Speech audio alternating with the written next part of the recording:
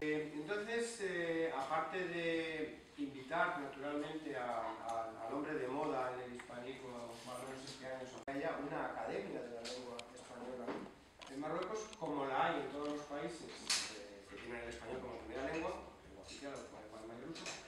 y también hay otros países como Estados Unidos. Pour l'avenir de la langue espagnole euh, au Maroc, nous sommes très optimistes.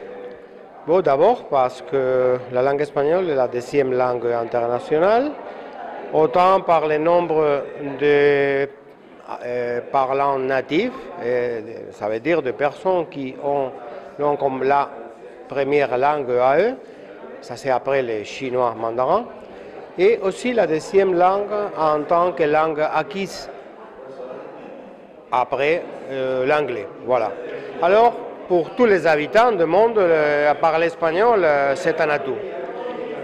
Voilà, dans le cas de, Maroc, euh, il y a beaucoup de relations d'abord avec l'Espagne, pas seulement du point de vue historique. Euh, L'Espagne est le premier partenaire commercial du Maroc, il y a énormément d'échanges. Et la langue espagnole est parlée par beaucoup de Marocains, surtout au nord du pays, mais pas seulement au nord. C'est aussi le, euh, l'outil de communication et de création artistique pour tous les écrivains qui utilisent la langue espagnole pour s'exprimer. En plus, c'est la langue du continent américain.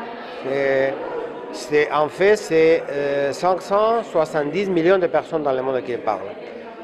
Et je vais euh, donner quelques chiffres très significatifs. Et le réseau de l'Insti- des instituts Cervantes au Maroc a expérimenté une augmentation dans les dernières années de- des élèves d'espagnol. Notamment le premier trimestre de deux- 2019, il y avait une augmentation de plus de 40% par rapport euh, à la même période de l'année antérieure. C'est vrai qu'il y a des difficultés, qu'il y a, euh, bon, c'est la quatrième langue euh, pour euh, un étudiant apprendre, après l'arabe, le français, l'anglais, c'est clair. Mais euh, je pense que c'est une langue complémentaire. Le monde aujourd'hui est un monde globalisé.